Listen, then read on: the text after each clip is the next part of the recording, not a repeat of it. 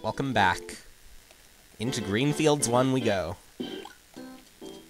Little dancing flowers, as I see. Nice. And it looks like red Koopas are different now. Worth noting that those fire Goombas, as I'll probably call them, since it looks like they do borrow the fire graphics for for once they jump.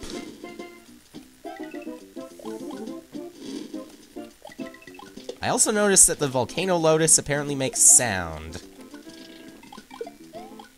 And instead of Monty Moles, we got more Goombas. And a Goomba generating pipe, too. Not bad. Oof. How would I get that? That would be obvious.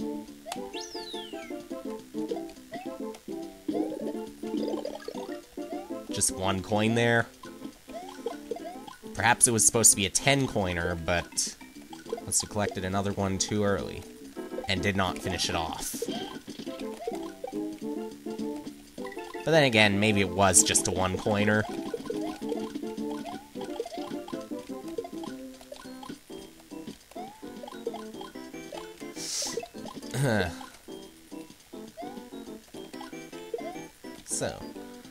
can actually go into any of those pipes with the Goombas in them. Probably not here. Although I'm sure it is possible to do it, since the Goomba generator itself would probably be a sprite. Way to go, Jump.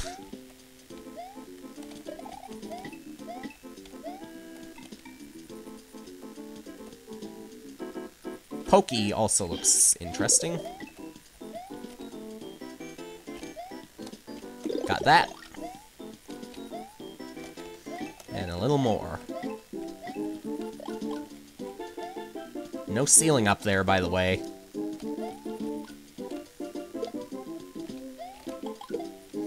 Well, good. And this time I actually collected some stars. Though I probably won't need to do any more.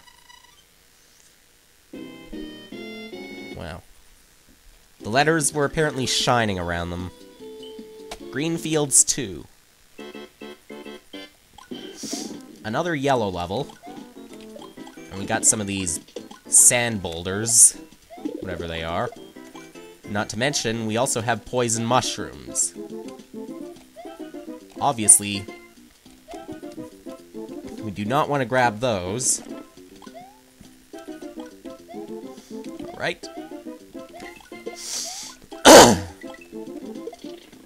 Huh.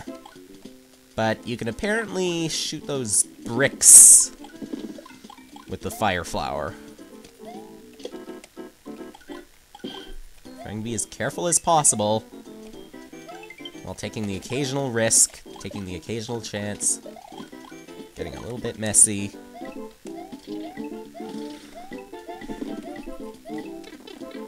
And getting messed by a bullet bill. In we go.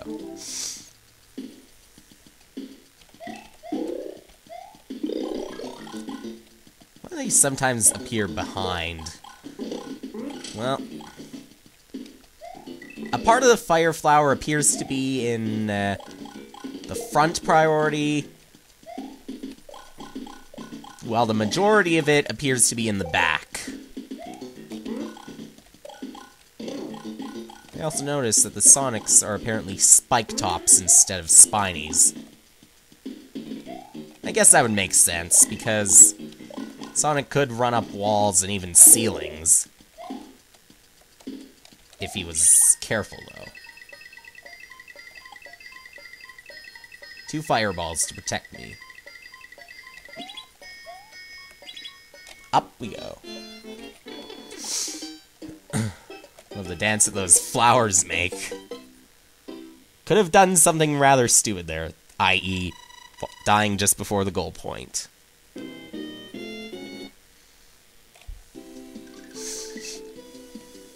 Greenfields 3. She Sheesh. And apparently, that pitching chuck throws Goombas instead of baseballs. Not to worry about that, though. Got some other balls in reserve, made of fire. Yep. Those shot fly guys are definitely original sprites. And those Goombas are obviously the Ninjas. Or, I mean, the Monty Moles. Why did I say Ninjas before? And why did I try that? Move faster. Ugh. No one who's watched that video can get it out of their head, can they? Yeah. Try my best to resist the urge sometimes. And I usually fail.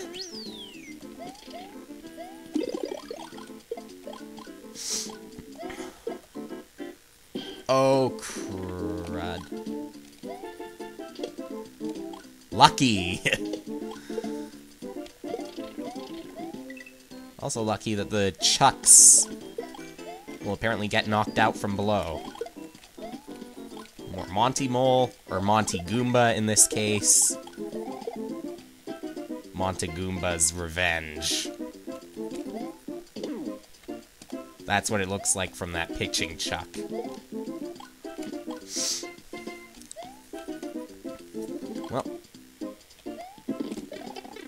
Ow. And there was another pit there. What's this pipe about? Nothing. Nothing at all.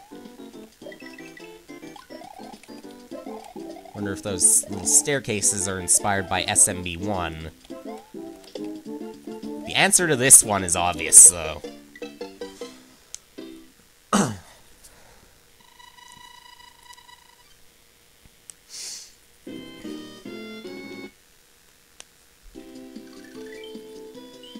Here's the field house, a ghost house. With no transition where you give up the yote. I was about to grab that, thankfully I didn't, because it was a poison mushroom. These ghosts are just freaky, aren't they? Particularly in Brutal Mario, where that ghost appears to swallow an entire fishing boo, or green gas bubble, or big boo, or anything you can think of. Because it's supposed to be your friend. Eventually, though, it'll eat you. Nice decoration for the doors, by the way. Once you once you go through them, they'll be barricaded. And looks like we need to press an on-off switch for this.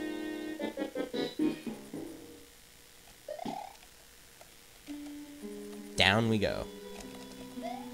Lucky we get.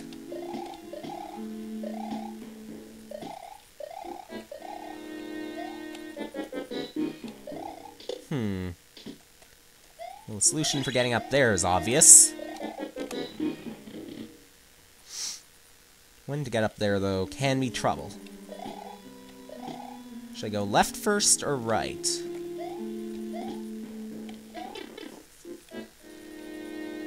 Probably... I was probably right in that I go left. At least, it at least it allows you to go back up there. Doesn't trap you or anything. And I'm out.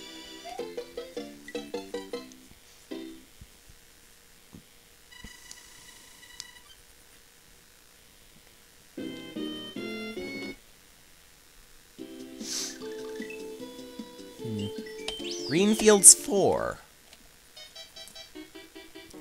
A lot of green fields in this world. Or the digging chucks. They make this a gray world instead of a green one. Because they cover it all in dirt. Or you could call it a brown world too, but... Yeah. Gray is a more depressing color. And if dirt is colorless, then that makes it depressing. Halfway point. In we go.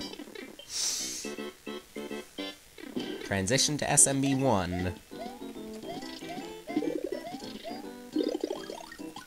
Thankfully generous with the power-ups. Keep mentioning. But it's always a good thing. Matter how hard the level is, as long as you give a lot of power-ups, I'll be happy. On the other hand, if the levels are short but power-ups are scarce, it's not so easy since you'd have to go back. This hack definitely got it right.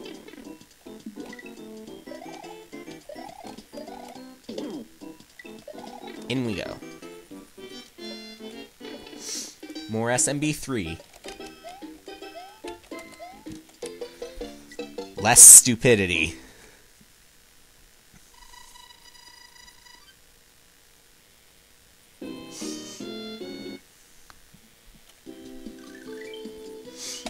Morton's Castle. Oh no, no, I'm not getting that. Too bad you can't spin jump off of poison mushrooms. Wish you could, though. And again, I'm pretty sure they disappear when when you grab them. So it wouldn't really matter.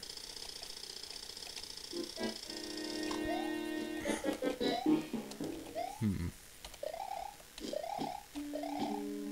Uh-oh. Gotta be careful with this.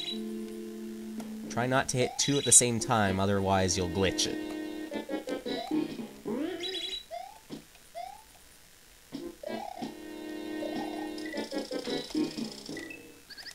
Way to go, me. Okay. This is where the coins are. Let's go ahead and jump there instead. Mushroom and... Power up and a poison mushroom right next to each other. That'd be so annoying in lost levels. Speaking of annoying, got a lot of clicking. You also have a little gimmick. You do not want the ceiling to go too low or too high.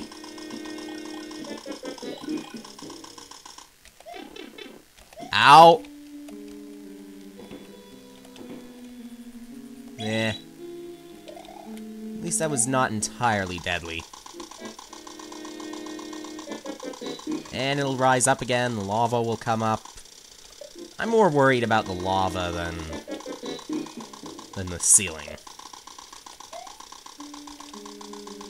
Because I choose to bring it back up, but... not down. Good. Oh. Just for a coin? Nah. Power-up's right there.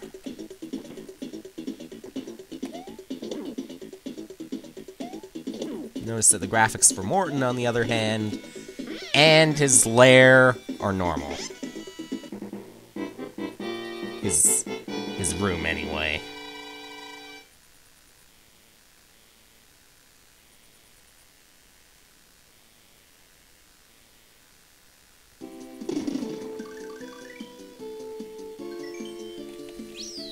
Not sure what living in those uh, in those boss rooms would be like for Morton, Roy, Lemmy, Wendy, or Ludwig. I figure it wouldn't be like that for Iggy, Larry, or Reznor. Maybe Reznor, but definitely not Iggy or Larry. Anyway, next time is Down by the River 1. I see a boat there.